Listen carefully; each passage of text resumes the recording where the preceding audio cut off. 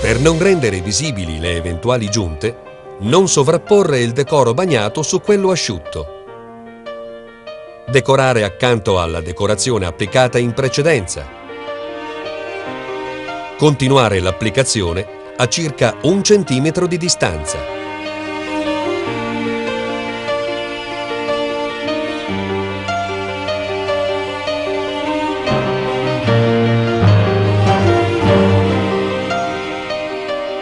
Ed infine unire la decorazione con il pennellino.